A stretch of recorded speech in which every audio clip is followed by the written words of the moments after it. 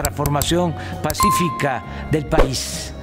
¿Qué tal amigos y amigas? Bienvenidos a una nueva video información más, bienvenidos a su canal Pregoneros. El día de hoy, ya domingo, porque la noticia no descansa 21 de enero del año 2024. Vamos con información Pregoneros porque Felipe Calderón Hinojosa el día de ayer salió con pues ser autoridad moral de ningún tipo, mis estimados Pregoneros, ni ética, ni profesional, ni en lo absoluto, mis estimados Pregoneros, ni civil, nada, saliendo a defender a su señor por una supuesta censura en su contra al ella anunciar hace dos días de que se iba de milenio de este noticiero nocturno que ella pues era la titular mis estimados pronos como conductora ya por muchos años. Ella salió con pues un tuit también muy lamentable mis estimados pregoneros diciendo que por circunstancias actuales ella pues tendría que dejar el espacio pero nunca mencionó que es por más dinero, porque se va a Radio Fórmula, ya mis estimados amigas y amigos pregoneros.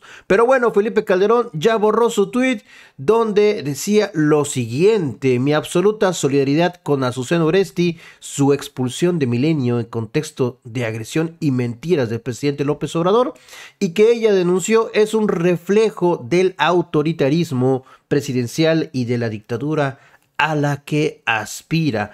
Esto es lo que borró Felipe Calderón Hinojosa, que el día de ayer estuvo también retuiteando a todos, a Xochil Gálvez, a Keña López Rabadán, hasta a Max Cortázar, mis estimados peruanos, que es el coordinador ahora actualmente de comunicación de la candidata del PRIAN Xochil Gálvez y muy amigo de Felipe Calderón, que los dos no tienen ninguna autoridad en nada para pues salir a opinar acerca de estos temas. Pero bueno, esto lo borró y vea nada más como ahora sí corrige, vea nada más. Rectifico, dice Felipe Calderón después de acusar al propio López Obrador de censurar a Susana Oresti. Hasta en eso se ha ido degradando el jefe del narcotraficante García Luna, difusor de información falsa que debe corregir pero está peor Uresti y los que siguen con el embuste, porque Azucena Uresti no ha salido a declarar absolutamente nada, mis estimados proneros, a pesar de que el presidente Andrés Manuel López Obrador el día de ayer, de ayer se lo exigió desde Durango que aclare todo este tema. En ningún momento yo he levantado el teléfono para hablarle a tus jefes y que te despida. Vean lo que dice Felipe Calderón tratando de rectificar todo este asunto. Me han precisado que la salida de Milenio de Azucena no fue por expulsión, como dije, de esa empresa, sino decisión profesional de la periodista. Hágame el bendito favor, mis estimados menos desde el día de ayer surgió toda esta versión de por qué, pues, se despedía, porque iba a otro medio de comunicación, simple y sencillamente, pero ellos empezaron con su censura que con la libertad de expresión, con el autoritarismo, con la dictadura del presidente Andrés Manuel López Obrador. Me han precisado que la salida de Milenio de Azucena Uresti no fue por expulsión, como dije, de esa empresa, sino decisión profesional de la periodista. Lo rectifico. Reitero mi solidaridad con ella y que el contexto de agresión en contra de ella, de Carlos Loret de Mola, de Ciro Gómez Leiva, de Víctor Trujillo Broso y otros, es un ominoso signo de autoritarismo presidencial. O sea, se disculpa, pero no se disculpa Felipe Calderón Hinojosa que vuelve a tirar la piedra y a esconder la mano. Este ex narcotraficante, ex narco presidente, mis estimados amigas y amigos pregoneros. Pero bueno, debería de estar ya tras las rejas Felipe Calderón. Ahí está, el autor de este post lo eliminó eliminó este post donde salía supuestamente a defender ni más ni menos que a Susana Uresti. Este tweet ya no podemos encontrarlo en su red social y ahora sí quedó como un auténtico payaso, como un ridículo, como un pensativo Felipe Calderón Hinojosa que estuvo pues también compartiendo, por ejemplo, Margarita Zavala, su esposa y diputada federal, compartió esta misma publicación. La despedida de Azucena nos obliga a resaltar su valentía y patriotismo. Gracias ella por su trabajo y le pido que no nos deje. Este hecho nos hace caer en la cuenta de las circunstancias actuales por las que sufrimos todos los días atentados contra la libertad. Lamento la complicidad y la cobardía colaboracionista de otros mexicanos que se dejan usar. Esto también lo retuiteó, lo compartió el propio Felipe Calderón Hinojosa.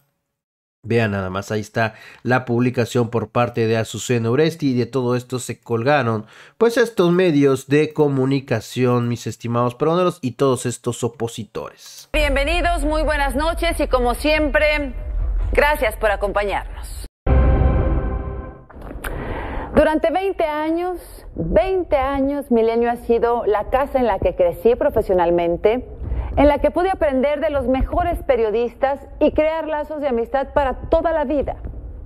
Los ciclos terminan y llegan los momentos de definiciones, así que dadas las circunstancias actuales, hoy es mi último día en esta empresa y será la última vez que esté frente al noticiario Azucena a las 10.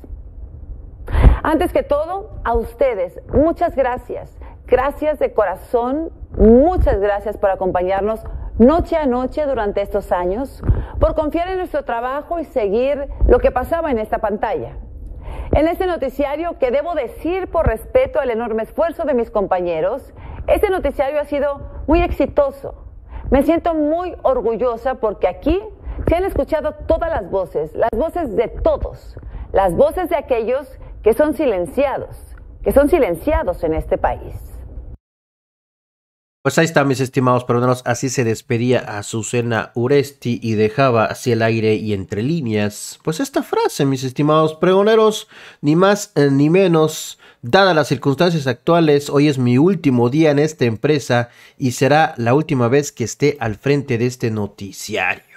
Pero bueno, mis estimados amigas y amigos peroneros quedaron como unos auténticos tontos todos estos opositores que salieron a criticar y a decir, a culpar al presidente Andrés Manuel López Obrador, entre ellos, por supuesto, a eh, Felipe Calderón Hinojosa. Vean, Max Cortázar, el inventor de todo este tema, de que AMLO era un peligro para México y toda esta guerra sucia, mis estimados peroneros, que eh, pues conocemos de ese tiempo de Felipe Calderón, ahí está, él también salió a dar su opinión y vea nada más lo que publicó. Mi solidaridad con Azucena Uresti por su salida de Milenio, un noticiero que se colocó dentro de las preferencias gracias al trabajo y profesionalismo de su conductora.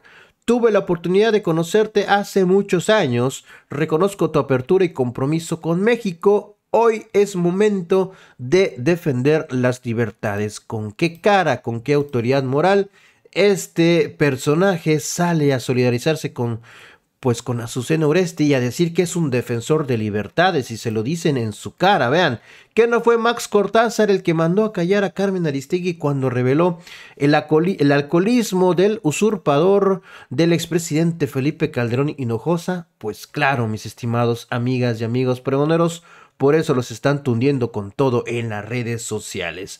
El que Calderón y Max Cortázar hablen de censura en los medios por órdenes del gobierno sobrepasa ya los límites de todo, todo cinismo. Solo falta que quieran hablar de elecciones limpias y decir no a la guerra sucia, porque la derecha le sigue apostando al olvido. Ahí están mis estimados prisioneros, quedaron como unos auténticos payasos dejos, hay que decirlo, estos dos, este par, mis estimados peroneros, aparte de lo que tiene que hacer, porque ya sabemos qué es lo que dice Xochitl Gálvez para tratar de generar adeptos, Kenia López Rabadán y todos estos preanistas, para colgarse de cualquier tema, de cualquier situación, para culpar al presidente Andrés Manuel López Obrador y a Susana Oresti simple y sencillamente se va a otra televisora, a otro medio de comunicación, por más billullo, por más dinero, mis estimados peroneros, por más lana.